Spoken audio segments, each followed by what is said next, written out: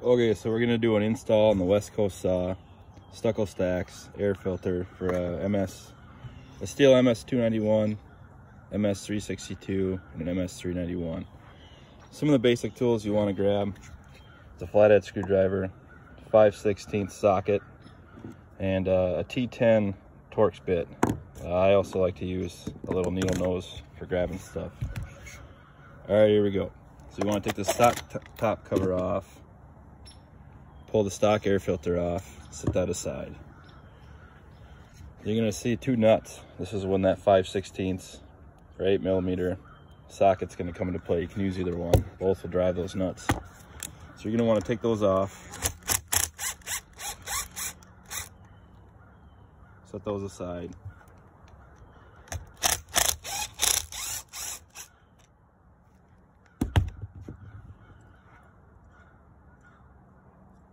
We got the two nuts off and put those on the bench.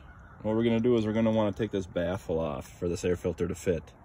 So what you're gonna wanna do is you're gonna wanna take this, this right side rubber mount for this carburetor bracket. You wanna wanna take that and pop it off. So I just push it forward, kind of snake it out of there. Then it'll come free off the carburetor. The two bolts the two studs is the bolts that come off the carburetor. You kind of want to push the carburetor back. You want to slide this bracket off of there. Keep track of your wiring on this side. Make sure everything doesn't slip, anything doesn't slip off. So you take that T10 Torx and you're going to want to take and remove the two screws that hold this baffle in place. I already took one off. I'm going to take the other side off for demonstration purposes. I'm just going to take that T10 back this screw off and the baffle will start to come off. Take both of them out on your side, you'll have both of them in. Take it, take this baffle, put that off to the side. Take the screw out, put that on your bench. What you're gonna wanna do now is you wanna take the supplied rubber plugs that are in your little bag when you buy the filter. You wanna push those in to where those screws were. If you don't put these in, you're gonna get debris and, and dust into your intake. We don't want that. That defeats the purpose of this air filter upgrade. Kind of push on it, snake it in, and go in through with your needle nose and you can just pull it through.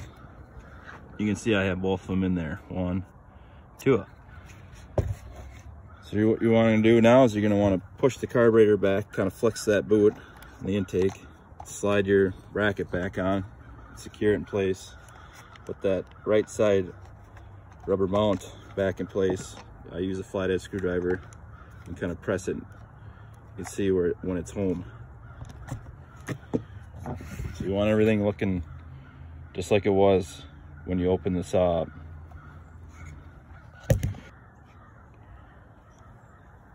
So after you get the bracket back on, pushed into place, you're gonna wanna reinstall those two nuts. Again, use your 5 16 or 8 millimeter driver socket. Put those back on. You don't wanna over tighten these. I like to snug them up with the impact here. Then I'll switch over to a hand tool.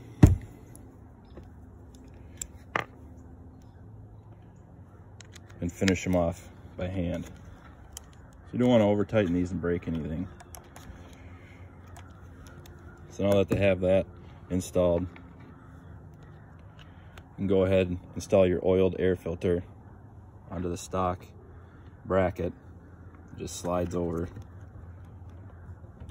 and you can go ahead and tighten it up. Make sure it's nice and snug. Go ahead, reinstall stock top cover.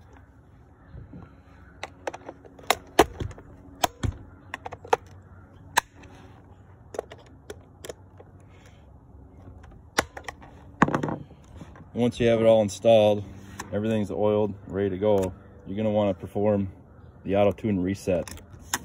So you just put it in choke, take the chain brake off, let it run for 90 seconds, and uh, and you'll be good to go. Then it'll self-adjust to the different air filter that you just put on your saw. You're gonna increase performance and airflow and uh, you're, you're gonna have a better air filter at the end of the day.